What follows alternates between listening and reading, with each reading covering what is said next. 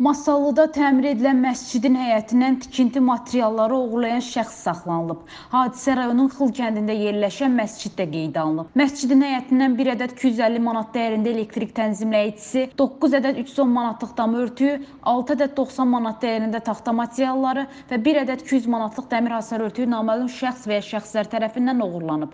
Masallı rayon polis şöbəsinin əməkdaşlarının həyata keçirdikləri əməliyyat axtarış tədbirləri nəticəsində rayonun Musa küçə kənd sakini 43 yaşlı Ağababa Cəfərovu şübhəli şəxs qismində tutub. İlkin dindirmə zamanı o törətdiyi cinayət əməlini səmimi olaraq etiraf edib. Oğurlanan əşyalar maddi sübut kimi götürülüb. Masallı rayon Xılkənd sakini Abbasov İltifat Adiloğlu Masallı rayon polis şöbəsinə edirəm müraciət edərək Masallı rayon Xılkəndə yerləşən məscidin həyətindən həmin məscidə məxsus ümumi dəyəri 600 manat təşkil edən tikinti materiallarının və ümumi dəyəri 250 manat təşkil edən elektrik tənzimləyicisinin naməlum şəxslər tərəfindən oğurlanmasını göstərmişdir.